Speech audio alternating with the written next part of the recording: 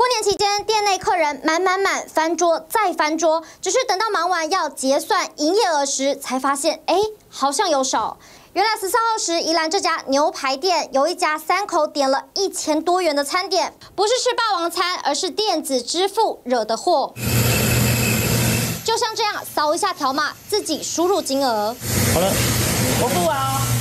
节省时间、人力成本，很多店家都跟上脚步，改用电子支付。但有时因为忙，相信客人没时间及时多看几眼，下班了要总结，才发现钱怎么少了。然后他会给我们看他已经付好的那个那个页面。对对对对对。然后他就会先离开，澳门也不会去确认。但也有可能还有这种情况，除非真心想动，歪脑筋。就是那个是出点截图的页面，假设啦，我觉得舞弊有可能是这样。线上付款分两种，店家直接刷条码，像刷卡一样，通常不可能出错。另外一种方法则是出示付款条码放桌上，让顾客自行输入金额。这时店家就要特别注意，会出现末三码跟金额。怎么预防？还是谨慎点。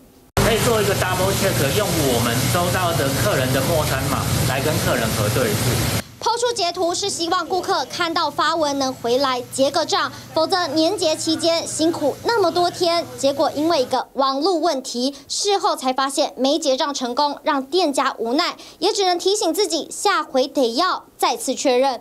TBS 新闻简大城市学员严胜文宜兰新北采访报道。想看最完整的新闻内容，记得下载 TVBS 新闻网 APP。